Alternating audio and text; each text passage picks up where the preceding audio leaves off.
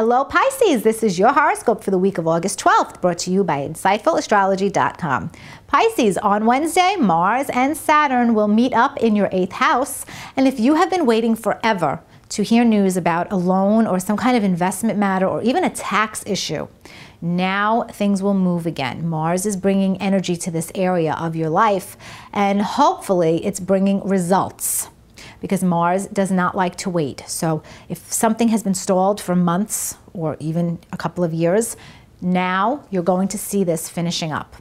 On Friday, a new moon will fall in your sixth house of work, and you do have gorgeous prospects to get a second job, an extra assignment, or some more freelance work. Also, this is your health sector, so it's a wonderful time to begin any kind of new health, wellness, approach that you've been thinking about trying, whether it's joining the gym, going to a holistic doctor, quitting coffee, I don't care what it is. New moon, two weeks of opportunity for you to make a fresh new start for your well being.